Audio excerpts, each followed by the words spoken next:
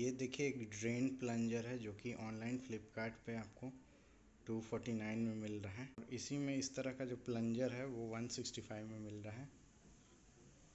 और ये देखिए सेम प्लंजर मैंने लिया है पटना बिहार से।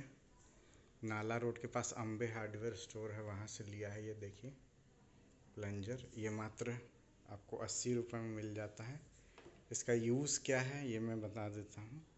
आपका जो है, जैसे बेसिन वगैरह का भी जाम हो जाता है या टॉयलेट का है? देखिए, इस तरह का होल वगैरह आपका जाम हो जाता है तो आप यहाँ पर रख के इसको इस तरह से ऐसे प्रेस कीजिएगा तो ये प्रेशर बनाएगा अंदर आपके होल के अंदर और जो भी कचरा फंसा हुआ है, वो निकल जाएगा।